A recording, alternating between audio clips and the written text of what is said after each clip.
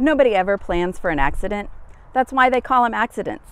You would never put your child in a car without a car seat, no matter how careful a driver you are.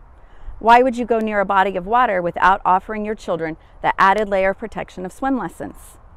Did you know formal swim lessons reduces the risk of drowning by 88%?